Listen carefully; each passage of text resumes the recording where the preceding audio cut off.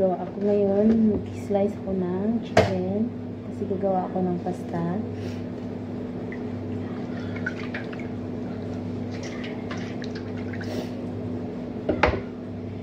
So, maghiwa tayo ng ano,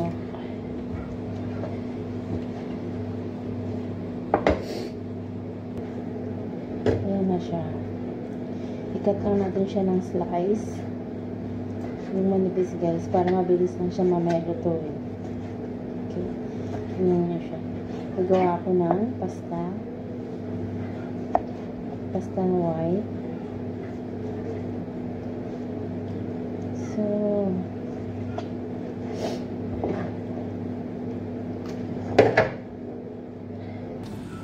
So, ayan guys, natapos ko na siyang hiwain ng slice. So, uh, lalagyan ko na siya ng salt, tsaka lemon. Tapos, uh, ilib ko ng 5 minutes. Tapos, iluluto ko na siya. so, ayan, magkat ako ng sibuyas. Nice. Pwede rin siyang maliit lang siya na square. Pero mas maganda siya.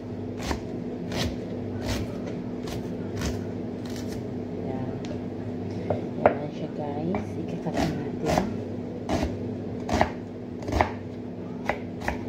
Tapos pwede rin sa hiwain ng manipis. Pwede rin yung slice. Sa anong gusto mo. Basta pwede na siya igisa. Tapos maglagay na ako ng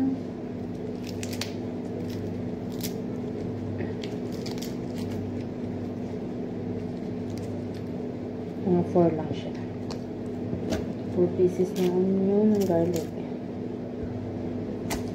Garlic. Tapos igigisa ko na siya. Ito ang gagawin ko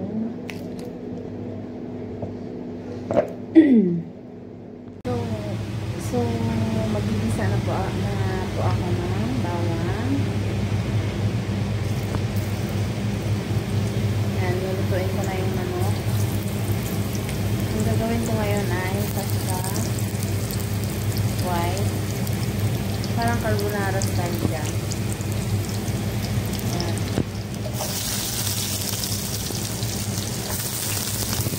So, i-add na natin yung